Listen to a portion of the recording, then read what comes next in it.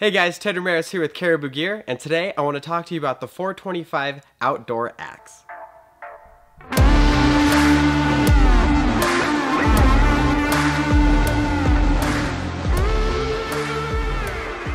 Alright, so here we have the 425 Outdoor Axe, hand forged in Sweden by Gränsfors Bruk.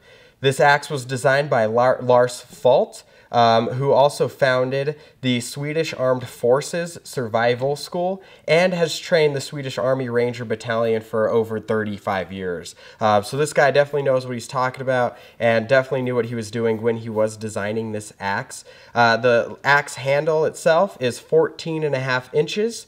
Uh, the weight in total is going to be one and a quarter pounds with a cutting edge of two and three eighths inches. Uh, this is going to be your multi-tool item. Uh, it, it also has a a flat back here so if you're going to be hammering down stakes nails or anything else it also has a hickory handle so it's going to be extremely durable. I highly recommend you guys checking this axe out. We're going to put the link below. You can also find it at caribougear.com